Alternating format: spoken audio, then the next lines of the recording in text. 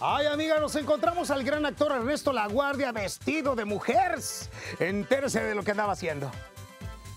Ernesto Laguardia, irreconocible, con el personaje que encara en la obra de teatro. La homofobia no es cosa de hombres, el cual reveló le deja una gran lección de vida. Como todos mis personajes, eh, siempre trato de prepararlos muy a fondo, de investigar. eh, con alguno de ellos que, que tuve la oportunidad de platicar, un, maquillista, eh, me decía, pues es que yo nunca tuve la oportunidad de ser feliz.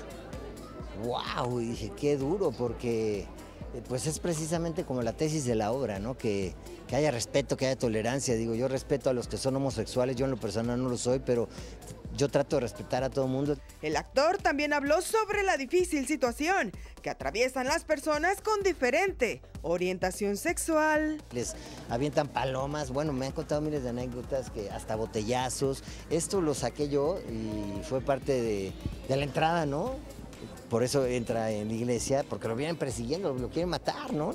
Y al preguntarle qué opinan sus hijos de este nuevo reto, esto comentó. Les explicamos, saben que su padre es actor y que eh, me considero un actor comprometido, me considero un actor que, bueno, pues siempre hago mucha investigación sobre cada uno de mis personajes, entonces pues lo platico con ellos, ellos eh, respetan mucho mi trabajo, saben que de eso vivimos.